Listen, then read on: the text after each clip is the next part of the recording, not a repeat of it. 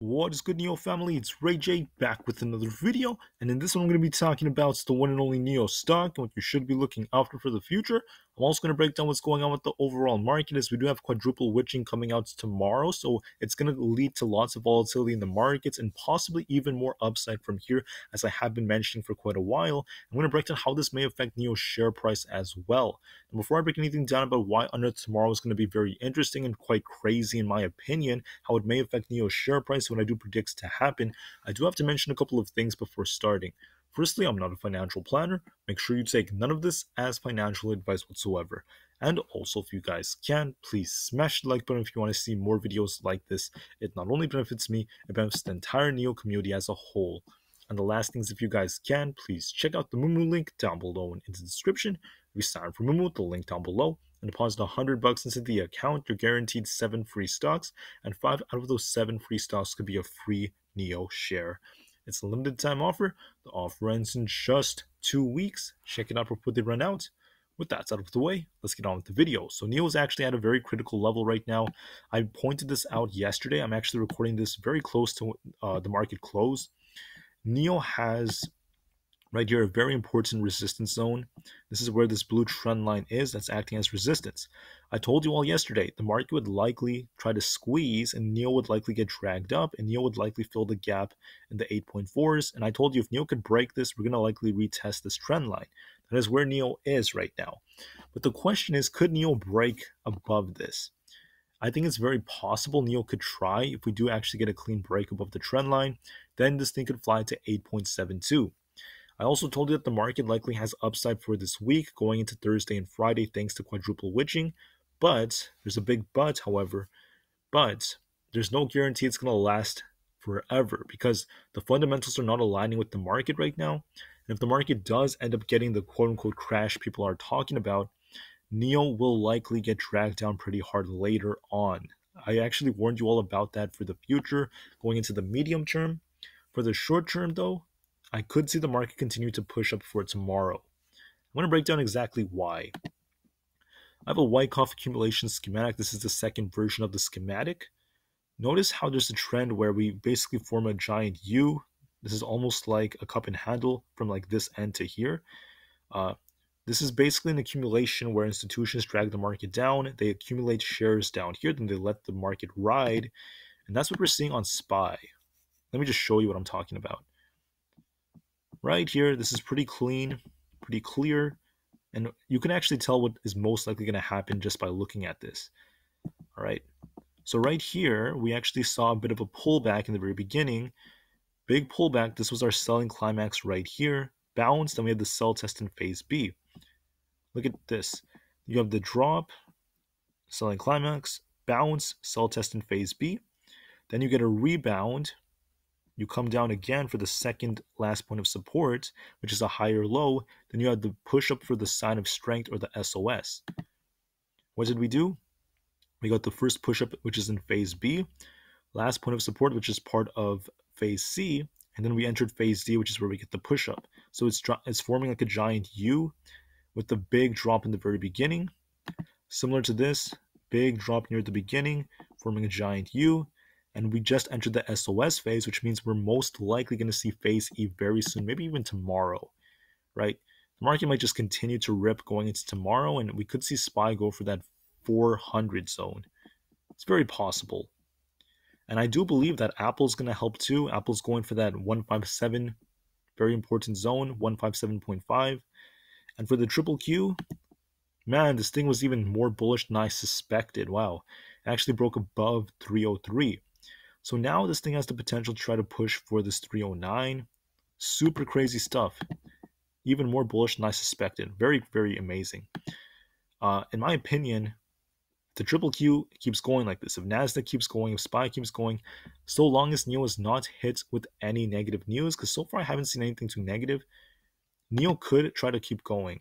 I think NIO could try to go for 8.72. And if we break that, $9 is technically possible. But as I mentioned before, I'm not promising that this move is going to last forever. Just wanted to make all of this very clear. So why is the market going to pump tomorrow? Well, we have quadruple witching tomorrow. We actually have over uh, what is that? 3.2 million puts expiring for SPY tomorrow. And we have about 1.7, 1.8 million SPY calls expiring. Max Pain at 396, 1.85 put to call ratio for tomorrow. The market makers are incentivized to pump the markets thanks to this. I mentioned this many, many times. And what are they doing? Well, what is the market doing right now? It's pumping. This is because of quadruple witching, the options expirations. I believe uh, because we're seeing moves like this, this is going to drag the whole market, or at least the majority of the market. There's not too much data coming out.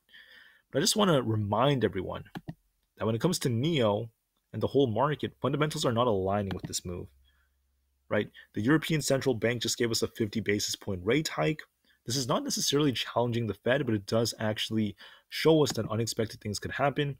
And also, what is, I guess, sort of helping the market is the fact that a lot of the banks are getting some lifelines, some supports uh, from different banks out there. They're, the FDIC is helping to bail them out by selling assets and using that assets to essentially bail out uh, depositors, if anything, from Silicon Valley Bank. And then for Credit Suisse, they're actually borrowing about $54 billion from the Swiss, the Swiss, excuse me, National Bank and etc. So there are some good things coming out, but overall, fundamentals are still not aligning because inflation is high. We're entering a recession most likely at this point. It's it's almost inevitable at this point, and there's still more banks in very dire situations. So be very careful and very cautious.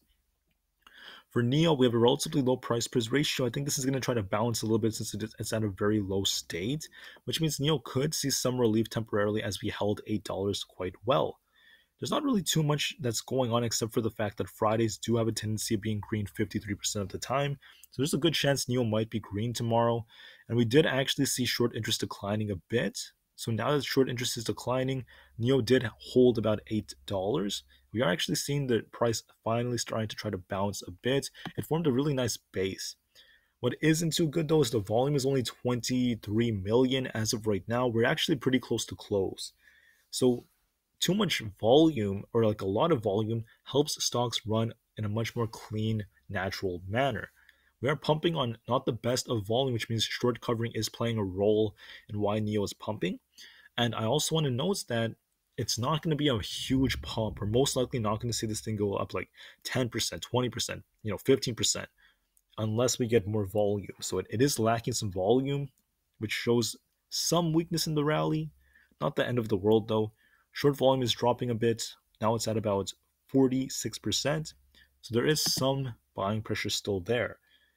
Nio didn't really tweet anything new, but they are reminding us that they have strong fundamentals and the ET7 is amazing. In my opinion, I'm bringing this up because NIO has amazing cars. I love the fact that they're developing their technology in Silicon Valley. They're working very hard to give us new models. A potential like smartphone could be coming out. A lot of great things are still coming from the company and its fundamentals. We just need to work more on our margins and other factors like that. They may have to adjust some prices to be a lot more optimal. And other than that, though, I do believe NIO has immense potential for growth and for the time being, I could see the share price try to push up with the market for now. Always remember that share prices are not the exact same thing as strong fundamentals for companies or weak fundamentals, because of the fact that NIO has strong fundamentals, but the share price is relatively low compared to before. The reason it's down is because of the overall market that's playing a much bigger role. And we're continuing to see the market just slide and slow down. We are still very undervalued compared to where we were in like 2020, 2021. So what do I see for tomorrow? I just want to note that for tomorrow, I think NIO should continue since we're trying to break out of this trend line. We could see NIO hit 8.72. If we break it, I think the $9 zone could come. This is awesome and all, but I must warn you all that there's no guarantee this move will last forever. Because later on, right, SPY and, and the whole market QQQ are going to pump most likely. If we get to this important zone, we might see SPY reject very soon, around 400 to 401. If that breaks, 406 is technically possible, but I'm not expecting way too much more upside from here because a lot of banks are going through hardships, like I said before. And once the market sees reality, everything could reverse when you least expect it. All right? Institutions are pumping the market up because they're waiting to start shorting. They want to short at much better prices. Be ready for the medium term, going into like April, May, June, there will likely be more downside, most likely. But for tomorrow, thanks to quadruple witching, expect more volatility and a bit of a pump, most likely, throughout the day because of the fact that we have a lot of those options expiring and the market makers are benefiting from pumping the markets and getting it to hold up.